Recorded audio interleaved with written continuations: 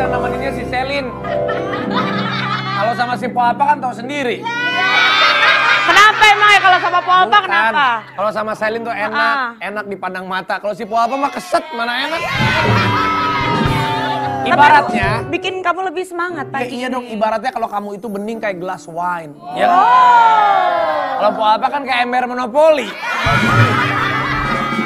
Buat ngocok dong. Iya ya ampun. Enak banget segar, fresh. Tapi yang ada aku sebel sama kamu, kamu ternyata udah punya pacar ya, Stefan ya. Kamu, Kamu dulu, kamu lagi kayak aku aja. ya bukan. Kamu dulu sama si Marcel, Ah. ya kan? Ternyata pas kamu sama Marcel, aku juga cemburu. Ternyata cowok yang bergelimang harta kalah sama cowok yang bergelimang tawa. Wah. Ya. Kalau dia udah bergelimang harta, terus bergelimang tawa kayak kamu. Ah iya tapi gimana? Kamu siap? Kamu udah siap kalau sama aku jadi yang kedua? Ah. Gak apa-apa aku jadi yang kedua, yang penting kamu gak ada duanya buat aku. Ya. Hei, daripada jadi yang pertama diduain lebih baik jadi nomor dua tapi diutamakan. Iya. Udah hari ini kamu. Tapi hari ini aku senang banget Kamu karena... jadi host di sini. Iya bener, akhirnya aku punya program di Trans 7. Selamat datang Selin di FYP. Karena Selin paling cantik, paling manis. Dulu, dulu, dulu, dulu, dulu, dulu, dulu, dulu. Oh jadi gitu. Eh, Jadi- dulu. Eh, Iya, iya, kamu, kamu udah eh, cocok oh, banget di oke. sini. Eh, iya, iya. Aku tuh enak kalau sama kamu tuh bisa. Eh, bawang putih, bawang putih. Eh lah dalah. Eh, salah ya, salah kayak ngeliat setan lu ngeliat gua. Kaget gua. Ah, ada Ayu Ting Ting. Kaget gua. Oh sama-sama ya. Eh, ngapain lu datang ke sini? Tadi lu ini ngapain bawang putih di mari? Eh, kamu bisa-bisanya ya, eh, bukannya nyuci di rumah. Kakak di sini mau kerja. Jangan nyuruh-nyuruh gue nyuci, mukanya lu tuh kayak jemuran.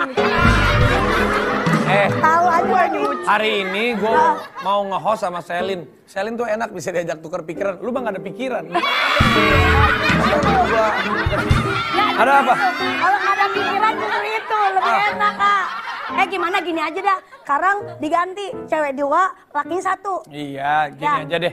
Tapi lu berdua tuh ada sama-sama. Apa samanya? Sama-sama yang ini lagi janda, ini pernah janda ya. Udahlah, ini aja. Coba kamu, kamu tunjukin dong, kamu bisa jadi host ngalahin dia. Supaya nanti produser lihat Iya kamu. bener tuh. Lu diganti, lu diganti. Oh, bener gimana? Kalau dia bagus kan lu diganti. Jangan gitu dong. eh. Tadi lu bilang bener tuh, lu bilang begitu. tadi. Iya, tadi lu bilang benar tuh. Oke deh kalau gitu kita sekarang mau langsung aja ngelihat ke Viti beberapa pernikahan artis yang umurnya singkat. Gue dong. Ah, kan? kan gak enak kan kalau dia angkat? Gak enak. Ini ada lihat, kita lihat sama-sama artis-artis Indonesia yang pernikahannya singkat. Nah itu dia. Ah, singkat. Itu pernikahan atau SMS sih singkat Ya. banget. Yuk kita lihat TV-nya. Ya ampun. Jadi itu banyak pernikahan, tapi tadi ada pernikahan yang baru dapat mahar udah cerai lagi. Nah, Banyak. temen Iya. kamu ya? Iya, Bella Luna kan. Heeh. Heeh, Aku rasanya pengen gitu dinikahin orang kaya, abis dapat mahar langsung cerai lagi. Ya, jangan. Jangan begitu dong. Biar bagaimanapun pernikahan itu harus seumur hidup, semati. Ah, lu udah pernah cerai juga waktu itu ya? Itu mah lakiannya aja yang daglog. Oh. Tapi sebenarnya kan intinya kan setiap wanita juga tidak ada yang pengen cerai, benar Nah, itu nggak? Benar. Semua wanita juga pinginnya sama pasangannya itu kan Suaminya kawin lagi? Ya bukan. Jangan, itu cukup gua aja Ya, kayak begitu. gua sama Nagita lah, lu lihat lah setia banget.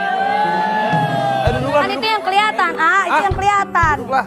Gua sama gua itu sama Nagita itu cuman dua kuncinya dalam rumah tangga. Apa yang pertama? Bersyukur sama sabar, ya kan? Ya, yang bersyukur. Gua Yang sabar. Nagita. Pintar nih.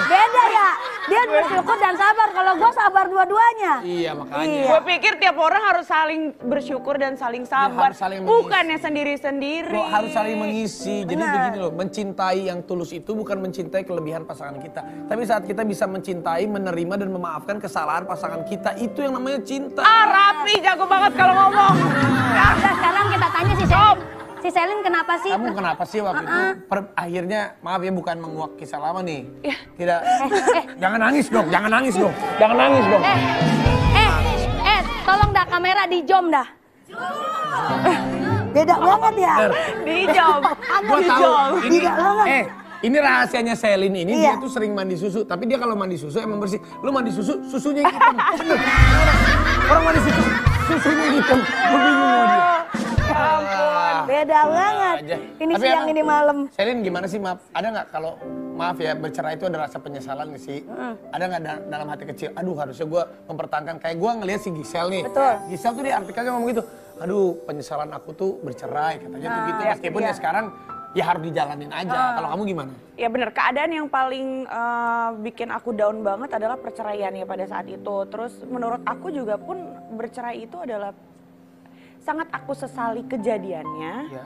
tapi tidak aku sesali perjalanannya gitu. Jadi itu adalah dua hal yang berbeda sih. Jadi kejadian pada saat bercerai itu membuat aku kayak kenapa sih kok harus gini gitu? Apa ini emang udah jalan yang terbaik gitu? Meskipun sebenarnya tidak disukai perceraian itu, tapi kan ya kita manusiawi gitu merasakan apa ya ada salahnya, ada hilafnya gitu. Jadi kalau dibilang menyesalnya ada gitu. Tapi kan kamu kan punya empat anak gitu, nggak merasa capek gitu ngurusin. Yang sekarang ngurusin sendiri Heeh, berarti empat sendiri. anak diurusin sendiri Kerja sama juga, kamu. ngurusin anak juga. Capek mah pasti iyalah ya manusiawi kalau kita tuh ngerasa capek terus kadang-kadang ada ngerasa daunnya juga, kadang-kadang ngerasa kayak Bisa nggak ya? gagal nggak ya gitu, bener nggak ya caranya gitu. Tapi ini kalau cowok nih misalnya nih mau deketin kamu gitu misalnya. Ah si Selin janda ya udahlah biasa gitu. Ah empat anak. Ah itu bikin kamu jadi aduh bisa bisa nerima nggak ya cowok ini ya? Ada ada kepikiran gitu nggak? Atau kamu nggak ada kepikiran kalau aku mah siap mau mau gitu. Aku mah siap. Ngomongnya Siapa aja lu? Nih Kalau kamu kalau kamu siap, Nggak salah begini nih. kalau kamu siap, Kamu masih kosong sih sebetulnya? eh Ini kalau dia nggak pantas, dia nggak pantas ya. Lu mah nggak pantas, lu mah nggak pantas. Eh, playboy. udah. lo jatuhnya kamu masih kosong gak kayak ibu kontrakan. Iya. Pikir lo kontrakan. Lagi ngomongin perceraian. Tahu. Lagi ngomongin Kan perceraian. Sudah dua kali, Gal.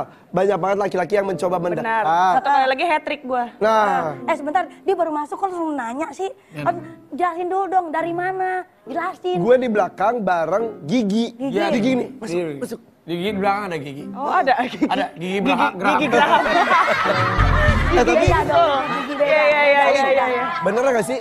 Lu risih gak sih orang-orang bilang, eh kawinnya maaf ya, kawinnya kok gak pernah lama gitu. Iya nggak bentaran doang gitu. Eh, kalau gue nggak risih dengan omongan orang sih, nggak gue nggak risih dengan itu karena kan yang yang gua yang dijalanin itu kan kita doang yang tahu gitu. Lu Iya, mau sampai kapan hidup bergumul dengan omongan orang gitu? Eh. Gue udah terbiasa diomongin orang mau dari hal yang paling buruk ya, mau hal yang baik ya, atau apa pun yang gue lakukan pasti jadi bahan omongan gitu kan.